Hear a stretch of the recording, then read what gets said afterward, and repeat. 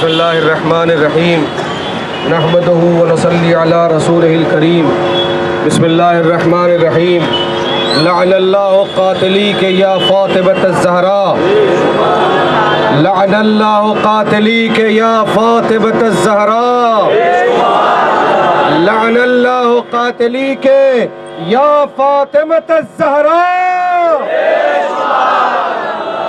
قال رسول الله صلى الله عليه وآله وسلم فاطمة أم أبيها سرکار مدینہ حضور ختم مرتبت حضرت محمد مصطفیٰ صلی اللہ علیہ وآلہ وسلم۔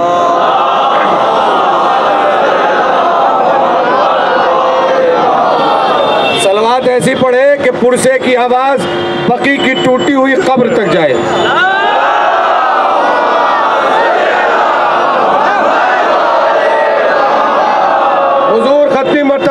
ارشاد فرمایا کہ فاطمہ اپنے باپ کی ماں ہے۔ فاطمہ اگر اپنے باپ کی ماں ہے، تو جو جو لوگ بھی باپ کو مانتے ہیں، کیا وہ بیٹی کو جانتے ہیں کہ نہیں؟ ارے، یہ سوال ہے، چوراہے پر ہے۔ وہ لوگ کہ جو باپ کو جانتے ہیں، باپ کو مانتے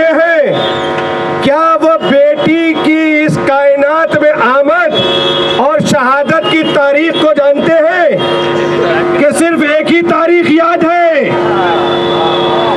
تو اگر باپ کی تاریخ یاد ہے، تو بیٹی کی تاریخ کیوں یاد نہیں ہے؟ حالانکہ بیٹی کی تاریخ یاد ہونے چاہیے۔ اس لیے کہ یہ کائنات کی اکلوتی بیٹی ہے جو اپنے باپ کی ماں ہے اور اگر تم دین کو مانتے ہو اسلام کو مانتے ہو شریعت کو مانتے ہو تو یاد رکھو فاطمہ رسول کی وہ اکلوتی بیٹی ہے کہ جس دین کو تم مانتے ہو وہ فاطمہ کے باپ کا لایا ہوا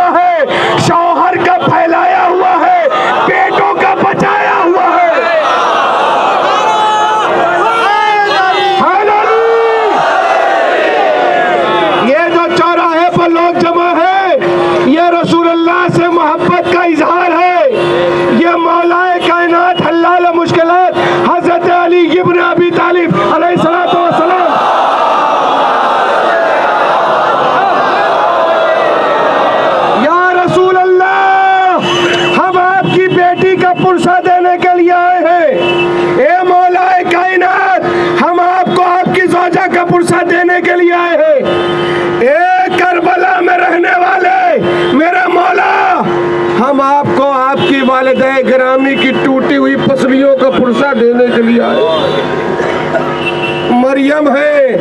حاجرہ ہے نصارہ ہے فاطمہ۔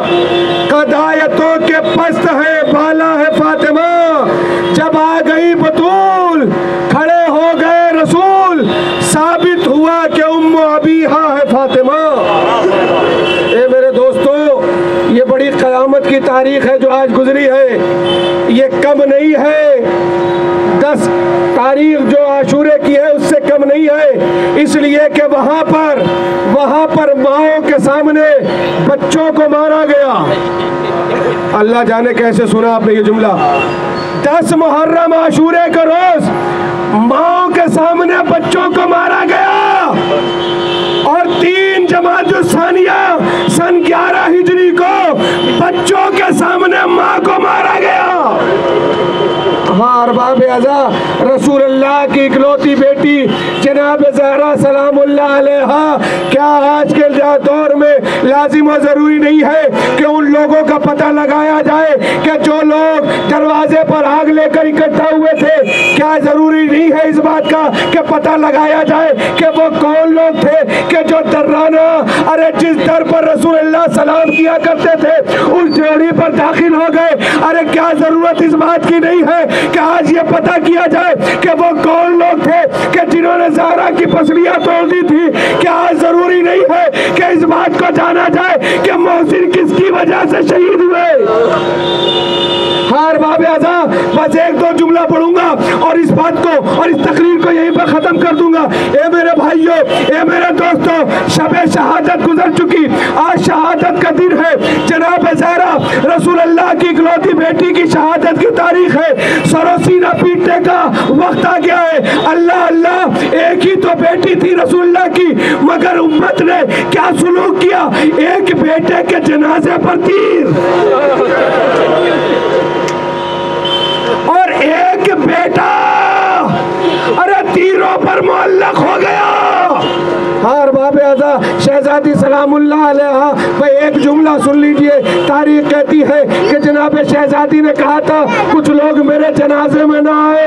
ارے پتا تو کرو کہ رسول اللہ کی اکلوتی بیٹی کو کن لوگوں سے تکلیف تھی کہ جن کے بارے میں کہا کہ وہ میرے جنازے میں نہ آئے۔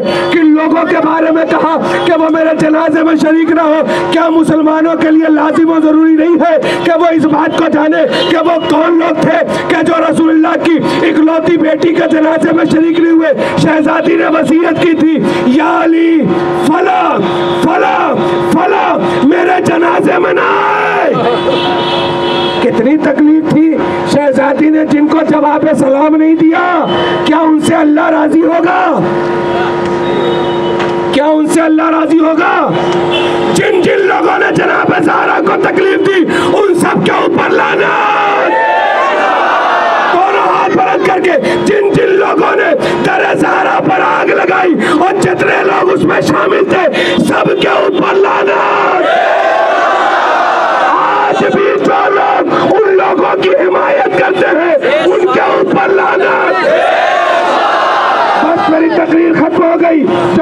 بتانا چاہتا تھا وہ میں نے بتا دیا۔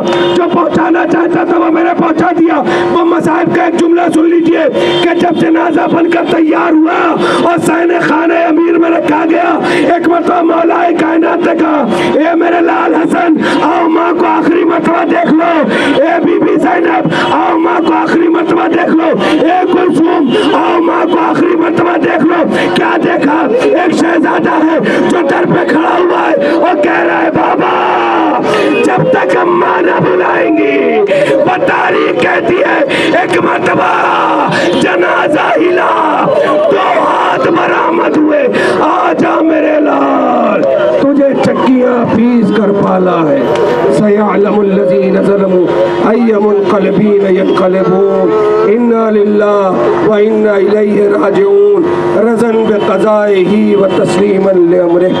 یا حسین